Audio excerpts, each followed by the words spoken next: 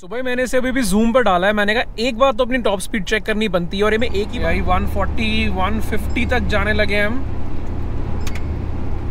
यार मुझे ना पीछे से कुछ आवाज़ आ रही है। मैंने कहा एक बार चेक कर लूँ। मतलब यहाँ पे ना वाट लग जाएगी क्योंकि अगर ये गिरी और कहीं पे पुलिस ने रोक लिया भाई हो गया काम। If you are a fan of travel content and you like fun family videos, तो Mile Chasers को सब्सक्राइब करना ना भूलें। तो भाई ऑल सेट ये अपना पानी का क्रेट जो हमने कल लिया था, ये अपना एक बैग एक मेरा लैपटॉप बैग आगे पड़ा है और ये मेरा कुछ चुटपुट खाने का सामान है.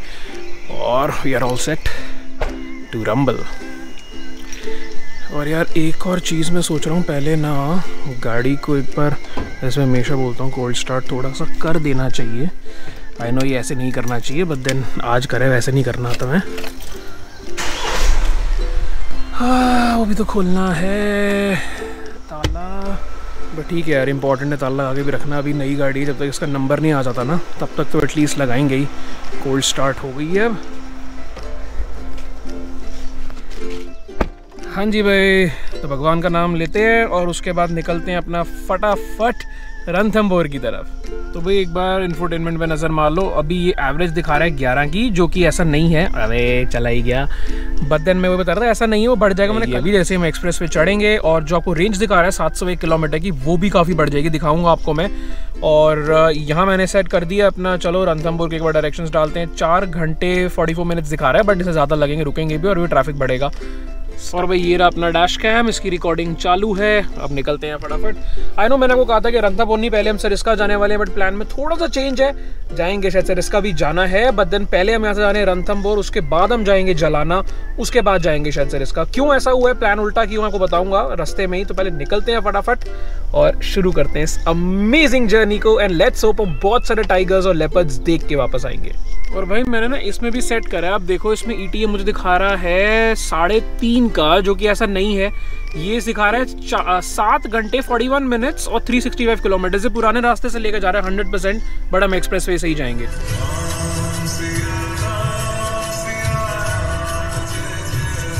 यार, अभी सही बताऊँ ना, अभी ना ऐसी फीलिंग आ रही है जैसे ऑफ़िस ही जा रहा हूँ अपना रेगुलरली क्योंकि अभी गुड़गांव में वैसा ही लग रहा है ना, और रेडियो चला के रखा हुआ था मैंने एफएम और उसमें वैसे ही लग रहा था कि बस ऑफ़िस जा रहा हूँ। देखते हैं कब अपनी वाली फीलिंग आती है कि हाँ भाई सोलो ट्रिप पे निकले तो भाई जिनको नहीं पता उन्हें बता दूँगी फ़र्स्ट टाइम सोलो ट्रिप है मेरा बाय कार वैसे ट्रेन से गया हूँ प्लेन से गया हूँ बट बाय कार पहली बार है। तो भाई यहाँ से हम एक्सप्रेस वे चढ़ जाएँगे और अब जो है ना, लग रहा है कि अब फील आएगी कि हम किसी ट्रिप पे जा रहे हैं सोलो तो ये रहा एक्सप्रेस वे अब यहाँ से मतलब आराम से क्रूज पे डालनी है गाड़ी 120 पर और सीधा दो ढाई घंटे के लिए कुछ सोचना ही नहीं है। चलो भाई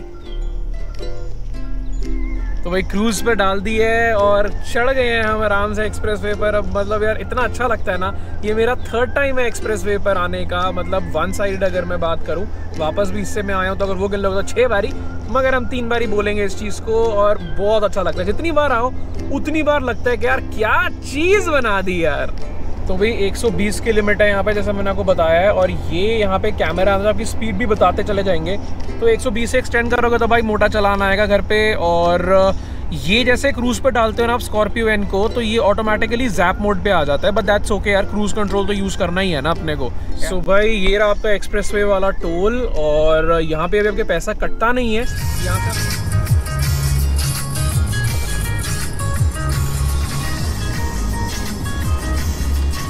लो भाई, एक और गई अपनी बहन या भाई, जो भी कह लो, सफ़ेद वाली बट यार ब्लैक की अलग ही बात है, नहीं? और मैं यार ये कह रहा था कि मैंने जैसे ना अपने जो टायर में प्रेशर है, वो 33 कराया था लास्ट वाले ब्लॉग में, जिन्होंने देखा, उन्हें पता होगा। इसी वजह से क्योंकि 120 पे यहाँ क्रूज चला के भैया दो ढाई घंटे गाड़ी चलती रहती है, और वैसे भी ना आपके टायर प्रेशर बढ़ता है। तो एनी वे उसको 33 रखो ताकि वो बढ़ के ऑटोमेटिकली 35 से 40 के बीच में आ ही जाएगा। और अगर आप 35 से 40 पहले से रखोगे और ऊपर गया ना तो इसी टाइम टायर बर्स्ट होने का सबसे ज़्यादा खतरा रहता है। इससे टायर प्रेशर ऑलवेज कम रखो जब भी आप हाईवेज पर आ रहे हो। और भाई हाईवे से याद आया, क्या चकाचक मतलब मक्खन है यार, मक्खन। और यार, आप लोगों ने देखा होगा, हमेशा से या तो पापा मम्मा साथ होते हैं, या कोई दोस्त साथ होता है, भाई लोग, या फिर यशवी होती है। और इस बार मैं पहली बार गाड़ी में अकेला जा रहा हूँ, ऐसे चार पाँच दिनों के लिए बड़े सफ़र पर। तो मैंने यही सोचा यार कि अगर मेरे को जब भी लगेंगे बोर हो रहा है कुछ हो रहा है तो मैं आप लोगों से बात कर लूँगा, सीधा कैमरा उठाना है और बातचीत शुरू कर देनी है।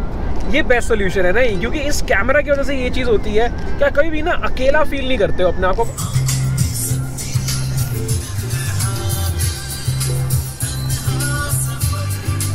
मुझे ना पीछे से कुछ आवाज़ आ रही है, मैंने एक बार चेक कर लूँ, क्योंकि इसका नंबर प्लेट का ना इशू चल रहा था। आपने लास्ट ट्रिप पे देखा होगा, उतर रही थी। ये देखा? मुझे लग रहा था ये आवाज़ आ रही थी और ये नंबर प्लेट का इशू होना था। भाई, हवा इतनी तेज़ थी, बाहर के बालों का ये हाल हो जाता है। लेकिन यार, मैंने करा तो है उसका जुगाड़। जैसे लास्ट टाइम रुचिर भाई ने करा था, उसका टिश्यू लगा के फिक्स कर दी। बट यार, ये बहुत ज़्यादा ना एक दिमाग में रहेगा। अब चीज़ के ध्यान इस पर रहे। वैसे गिर ना जाए यार। मतलब यहाँ पे ना वाट लग जाएगी, क्योंकि अगर ये गिरी और कहीं पे पुलिस ने रोक लिया, भाई, हो गया काम। तो अब दिमाग में रख के चलना पड़ेगा कि यार नंबर प्लेट पे ध्यान रहना चाहिए। सुबह मैंने इसे अभी भी जूम पर डाला है। मैंने कहा, एक बार तो अपनी टॉप स्पीड चेक करनी बनती है और ये मैं एक ही बार करूँगा। ओवर स्पीड नहीं कर रहे हम लोग और 120 पे कॉन्स्टेंटली चलेंगे इसके बाद। बट एक बार ट्राई करते हैं, देखते हैं क्या सीन आता है इसका। यार, एकदम जो पंच आता है ना, एकदम मतलब जूम मोड में माय गॉड माय गॉड ये देखो, इसने मुझे वार्निंग भी दे दी है vehicle over speed but that's okay एक बार तो अपन करके देखेंगे यार। यही 140 150 तक जाने लगे हम। बस दैट्स इट यार दैट्स इट इससे ज़्यादा नहीं लेके जानी मुझे। बस ठीक है, मेरी नंबर प्लेट का भी इशू है। धीरे कर लो जी, बस। हो गया, बस ये एक बार करा हमने। इसके बाद ये मैंने और नहीं करना। बस एक बार ट्राई करके देखना था कि भाई कितनी तेज़ी से जाती है ये। अब वापस जैप पर डाल के क्रूज लगा लेते हैं अच्छे बच्चों की तरह।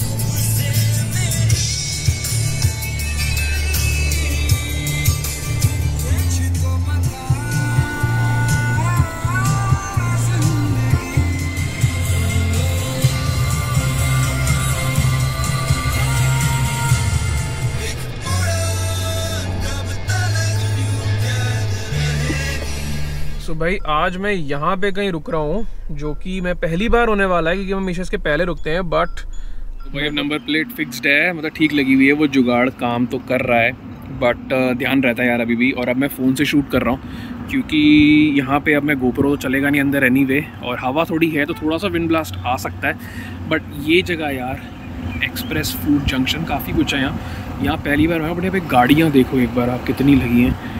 और अपनी तो क्या लग रही है यार और क्या परफॉर्म कर रही है गाड़ी। तो ये ऐसा कुछ हिसाब है और सेल्फ सर्विस है। वहाँ पे टिकट कटाओ और यहाँ जाके ले लो और आके अपना खा लो। सो भाई ये रहा पराठा। पराठा तो अच्छा लग रहा है, दही के साथ है पंगे वाली बात है कि अचार नहीं है। अचार के बिना भी यार पंगा हो गया यार सो भाई चाय अब मिली है और ये था एक्सप्रेस फ़ूड जंक्शन भाई मत रुकना, मैं जेनविनली बता रहा हूँ, ना अचार है, ना कुछ है। और बेकार सिस्टम है। अर्बन ढाबा में सारी भीड़ थी बट मुझे वहाँ सीट नहीं मिली तो वहाँ बैठना पड़ गया। बट यार वेरी वेरी बैड एक्सपीरियंस और मतलब अचार के बिना के पराठे देता है क्या? और साथ में बटर भी नहीं है कहने सब कुछ भी नहीं है। दही के साथ खा लो, खाना है तो और टेस्ट भी इतना कुछ खास नहीं है। चाय भी नहीं थी, चाय अब मिली है। बाई चांस निकलते हो तो बाहर खड़े होकर पी रहा हूँ। यार, मैं ना जनरली आपको एक बात बताता हूँ। मैं उनमें से नहीं हूँ जो छोटी छोटी बात में आपको कभी आपको बोलेगा कि भाई इस जगह मत जाओ, उस जगह मत जाओ, यहाँ खाना मत खाओ। जब एक लेवल आ जाता है ना, मैं तब बोलता हूँ ये चीज़ बट फिर भी आपकी चॉइस है। ये जगह जो है लेफ़्ट में एक्सप्रेस यहाँ मत जाना भाई मतलब टिश्यू तक नहीं देंगे, ऐसा सीन है यहाँ पर। अर्बन ढाबा मुझे नहीं पता जो राइट हैंड साइड पर है, मैं वहाँ नहीं गया, वो फुल था, इसीलिए अब सारी गाड़ियाँ यहाँ से निकल गई हैं। अब निकलते हैं यार, फटाफट दस बजने लगे हैं और यहाँ से हमारे को तीन, सवा तीन घंटे लगेंगे। और भाई जेनविनली बता रहा हूँ, अंदर एक बंदा ऐसा नहीं था जो उस टाइम कंप्लेंट ना कर रहा हो, सारे चिड़ रखे थे उनसे।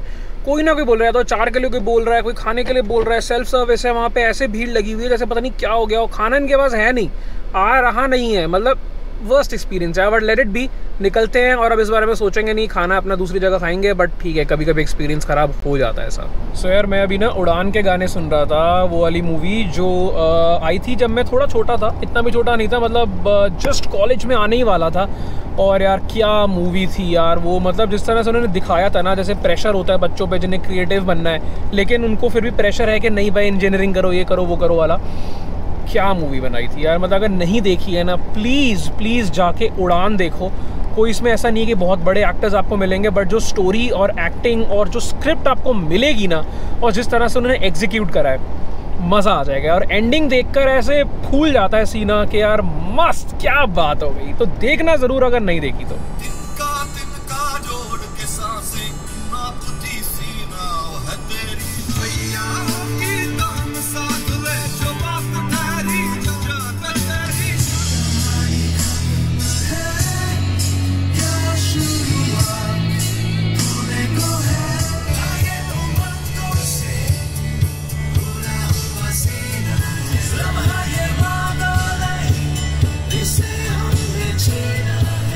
यार, फिर से मुझे आवाज़ आ रही है। नंबर प्लेट की लेट्स चेक क्या यार, ये मतलब सीरियसली ना परमानेंट नंबर आए, सही नंबर प्लेट लगे ये देखो, अब उस तरफ़ वाला निकल गया। करते हैं जी, अब इस तरफ़ भी टिशू लगा के, इसको भी फिक्स करते हैं अब। सीरियसली यार, अगर उच्चर भाई वाला आइडिया ना होता ना तो बड़ी टेंशन में चल रहे होते, क्योंकि ये बार बार निकल रहा है, और ध्यान रखना पड़ता है यार। गिर गई ना अगर ये तो बहुत बुरा पंगा हो जाएगा यार। जस्ट फिंगर्स क्रॉस के ना गिरे। बाकी बस अगला ट्रिप तक हम जब तक जाएँगे, तब तक तो मेरा परमानेंट नंबर आ जाएगा जो नेक्स्ट वीक ही आने वाला। तो रुचिर भाई थैंक यू सो मच यार। आपके आइडिया के चक्कर में मैं ठीक से चल पा रहा हूँ अभी। यार गोप्रो में ना कुछ इशू आ रहा है मेरे। ये देखो, जैसे बार बार ऑफ़ हो रहा है और अब जब मैं इसको व्यू करने जाता हूँ अपनी कुछ पुरानी फाइल्स आजा भाई।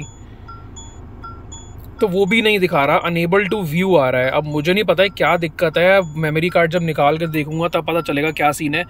But to be on the safer side मैं अभी फ़ोन से शूट कर रहा हूँ अब आगे का मैं फ़ोन से ही करता हूँ और जस्ट फिंगर्स क्रॉस्ड कि जब ये मैं ट्रांसफ़र करूँ तो फ़ाइल सारी हों यार। अगर मेमोरी कार्ड का पंगा हो गया ना तो लग जाएँगे। तो भाई मिला जुला के अब सीन यही है कि कुछ कुछ पंगे तो होते जा रहे हैं बट uh, होता रहता है रोड पे और ये मुझे फिर से आवाज़ आई नंबर प्लेट की वो फिर से मुझे लग रहा निकल गई है। यार, कैसे जाया जाएगा ऐसे? कितनी बार निकल रही है यार? लगाते हैं दोबारा से यार। ये देखो भाई, ये वाली मैंने पहले फिक्स कर दिया था, वो तो तब से नहीं हिला बट ये वाला बार बार निकल रहा है, वो नहीं निकल रहा है ये निकलता जा रहा है, ये मैं चौथी बार रुका हूँ। पिछले लगा लो पाँच मिनट में इसको ठीक करने के लिए। अब इसका कुछ जुगाड़ करना ही पड़ेगा। इसको लगाते हैं किस तरह? और उसके बाद रणथमपुर पहुँच के ना, गुल भाई से बात करेंगे, कहीं जुगाड़ करा दें इसको फिक्स कराते हैं पहले। सो so भाई, यहाँ से जयपुर और आगरा का रास्ता कट जाता है। मतलब आगरा के लिए आपको थोड़ा ज़्यादा जाना पड़ेगा बट जयपुर यहाँ से बस नीचे से घुमा के राइट होना है आपको। एंड दैट्स इट आपके यहाँ से 70 किलोमीटर्स अराउंड जयपुर रह जाता है। और वो रोड भी काफ़ी अच्छी है। बट अपने को जाना है आगे, क्योंकि हमारे को लेफ़्ट लेना है दौसा से। जो कि लाल सोट होते हुए हमारे को सीधा लेके जाएगा सवाई माधोपुर जहाँ पर है रणथम्बोर नेशनल पार्क। तो भाई अपना भी कट बस आई गया। एक किलोमीटर में देखो लाल सोट लिखा हुआ है यहाँ पर और हमारे को लाल सोट की तरफ़ ही जाना है। और लेफ़्ट लेंगे हम आगे से और उसके बाद हमारा एक्सप्रेस वे हो जाएगा ख़त्म। यार आ, मतलब मैं जेनवनली बताऊँ जब भी मैं यहाँ पर आता हूँ ना और ये ख़त्म हो रहा था तो मुझे लगता है अरे यार अब नॉर्मल चलानी पड़ेगी। और फिर वही क्लच ब्रेक पे सीन करो और आपको क्रूज़ पे नहीं चला सकते आप। बट आज मैं कहीं ना कहीं उस चीज़ में खुश हो रहा हूँ क्योंकि नंबर प्लेट वाला इशू आपको पता ही हो रहा है और मुझे ठीक लग रहा है, यार इतनी स्पीड में गाड़ी नहीं चलेगी ना अगर तो हवा से ज़्यादा ऐसा नहीं होगा कि वो निकल के बाहर आए। सो आई एम हैप्पी कि चलो ठीक है यार, अब कम से कम मुझे उसकी इतनी टेंशन नहीं है और यहाँ पे आराम से चलेंगे अपना अस्सी नब्बे पे क्रूज़ करते हुए और इसकी अब हम एवरेज भी निकाल लेंगे क्योंकि इसने मुझे काफ़ी कम कर दी यार। मतलब अभी 12.7 शो कर रहा है बट इसने मुझे दिए कुछ 13.5 की। एक्सप्रेस वे पर। हाँ मैंने क्रूज़ पे 120 पे सेट करके चलाया हुआ था, उससे तेल फूकता है ज़्यादा बट देन फिर मुझे लगा शायद थोड़ी ज़्यादा आएगी। बट कोई बात नहीं एंड तक देखते हैं रंथम और पहुँचे तक हमारे को टोटल कितनी दिखाता है फिर। चलो भाई जिप पे डाल दिया है और इस हाईवे पे आराम से क्रूज़ करेंगे हम। और अच्छा लग रहा है यार सोच के चलो, इसके बाद हमारे को दो घंटे और चलानी है और हम पहुँच जाएँगे अपना आराम से रंथमपुर और। यार, लालसोट सिटी आने वाली है। और लास्ट टाइम मैं आया था ना रोड बन रही थी, अभी भी आगे वो दिख रही है, बन रही है बट काफ़ी सारा स्ट्रेच अब इनका बन चुका है। तो टर्मैक होता जा रहा है सारा यार, और जितने ऐसे गाँव गाँव ऐसे टर्मैक से कनेक्ट होते जाएँगे ना, उतना ही बढ़िया होता चला जाएगा, क्योंकि इनके लिए भी यार आना जाना इतना आसान हो जाता है ऐसे। तो भाई वेलकम टू लाल सोठ। लाल सोठ है लाल सोठ नहीं है जो हम गोलगप्पों के साथ खाते हैं भाई। तो ये ध्यान से कई लोगों को लगता है कि लाल सोठ है, पीछे डोसा आ रहा है, जिसको डोसा पढ़ लेते हैं लोग। और भाई, ऐसे ही चलता रहता है। और आपको वैसे बता दूँ रणथमपुर में सांभर भी मिलता है। डियर यार ये देखो, कुछ तो इनका चल रहा है और ये बहुत दूर दूर से ना पानी भी लेकर आ रही हैं और कुछ गाना बजाते हुए जा रहे हैं। अच्छा लगता है यही सारा कल्चर देखना ना और राजस्थान में तो ख़ास तौर पे आपको इतना ज़्यादा देखने को मिलेगा कि मज़ा आ जाता है यार। सुबह ही सवाई माधोपुर हम आ गए हैं, ये वाला फ्लाईओवर उतरती जैसी लेफ़्ट लोगे तो सवाई माधोपुर आ जाता है और सीधा चले जाओगे तो आपका जोन नंबर टेन आता है जहाँ पे मुझे अभी जाना है पहुँचने के बाद। अभी फ़िलहाल टाइम हो रहा है साढ़े बारह, देख लो। Twelve thirty eight to be precise और साढ़े तीन बजे की सफारी है। चलो, ये वाली सारी बातें अपने अगले व्लॉग में करेंगे, क्योंकि मैं सफारी वाला जो व्लॉग है, अलग से बनाऊँगा। तो अभी पहुँचते हैं फटाफट अपनी जगह पे, जहाँ पे मैं रुक रहा हूँ। वो भी आपको पहुँच के दिखाता हूँ। वैसे आपको पता ही है, जहाँ मैं रुकता हूँ, वही जगह रुकूँगा। बट फिर भी, जो नए व्यूअर्स हैं, उनके लिए पहली बार होगा। सो भाई, जिन्होंने हमारा लास्ट टाइम व्लॉग्स देखे थे तो आपको याद होगा शायद कि ये वाला गेट तब नहीं था, ये बन रहा था तो हम घूम के जाते थे। बट अभी नया गेट बन चुका है रणथम्बोर के लिए। बहुत सुंदर लग रहा है जो यार। ऐसी चीज़ें होती रहनी चाहिए मतलब ब्यूटिफिकेशन होती रहे अच्छा लगता रहता है। और वो सामने जो आपको दिख रहा है पहाड़ी, वो रणथम्बोर है जहाँ पे सारी सफारीज भी होती हैं। और यहाँ से आपका जंगल स्टार्ट हो जाता है मेन जो आपके एक से पाँच नंबर गेट हैं, वो सारे इसी तरफ़ हैं। अब आगे आपका मेन गेट भी आ जाएगा, जहाँ से एंट्री होती है। बट ये पूरा अब एरिया आपका टाइगर लेपर्ड्स और बाकी सारे जानवरों का यहाँ से स्टार्ट हो गया है।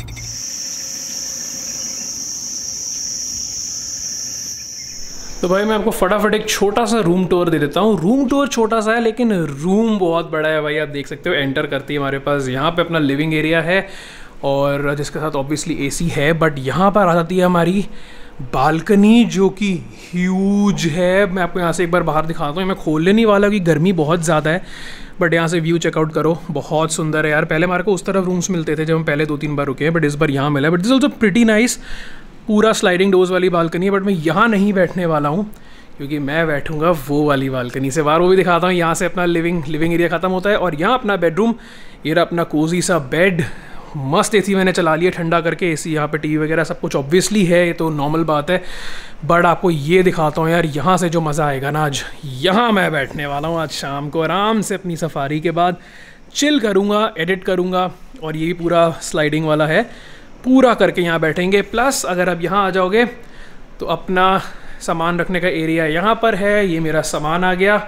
और ये रहा हमारा वॉशरूम जो बहुत बड़ा है, इनके यूजुअली बहुत ज़्यादा बड़े वॉशरूम ही होते हैं क्यूब भी बहुत बड़ा है। आपको मैं एक चीज़ दिखा दूँ क्यूब में से, अगर आप नहा रहे हो, ये हटाओगे तो नेचर के साथ नहा सकते हो बट मैं ये नहीं करने वाला भाई, और कहीं अपनी शेम शेम हो जाए तो यही है भैया रूम का सीन तो भाई मैंने थोड़ा सा चेंज वेंज कर ही लिया यार, जबकि अभी ना टाइम इतना नहीं है मतलब लगा लो कि मेरी सफारी के लिए भी है एक डेढ़ घंटा बट मैंने कहा यार एक घंटे भी अगर बैठना है तो चैन से बैठेंगे, दोबारा चेंज कर लेंगे, लेकिन अभी चेंज करके बैठना है भाई, बहुत ज़्यादा गर्मी है बाहर, और आप लोगों को लगता है ना जैसे कि यार आप लोग कहीं पर आओ तो आपके लिए क्या होता होगा कि चलो यार आ गए हैं, थोड़ी देर रेस्ट करते हैं फटाफट, और उसके बाद सफारी पे निकलना है तो जितना टाइम है उसको यूटिलाइज करके अपना रिकवरी कर लो। हमारे लिए ऐसा नहीं है भाई। मैं व्लॉगर्स के लिए बात कर रहा हूँ, ऐसा बिल्कुल नहीं है। भाई, हमारे को आते ही ये सब करना है ट्रांसफ़र का काम। मेरा चार्जिंग वगैरह भी यहाँ पे देखो सब लग गया है वापस से गोप्रो और मुझे अभी बेसिकली ये चेक करना है कि जो मेरी गोप्रो की फाइल्स थी, वो करप्ट तो नहीं है तो एक बार पहले वो चेक कर लूँ। तो भाई ये देखो, जो हमारी लास्ट यहाँ तक की फाइल्स है ना, यहाँ तक ही ठीक है। जो लास्ट फ़ाइल है वहाँ से करप्ट हो गया। अगर मैं इसे चला रहा हूँ तो ये ओपन नहीं हो रही है। सो हमारा इतना अच्छा डिसीज़न था ना ये देखो, कि मैंने उस टाइम ये बाई चांस चेक कर लिया कि यार मेरा कोई दिक्कत ना दे रहा और मैंने जब फुटेज चला के देखी तो नहीं चली। तो उसके बाद लकीली मैंने कुछ शूट नहीं करा इससे और उसके बाद मैं कैमरे पर आ गया। तो बच गया भाई, आज मामला बच गया। वरना इसके आगे की सारी फुटेज ऐसी करप्ट होती, सिर्फ़ यहाँ तक का रिकॉर्ड होता।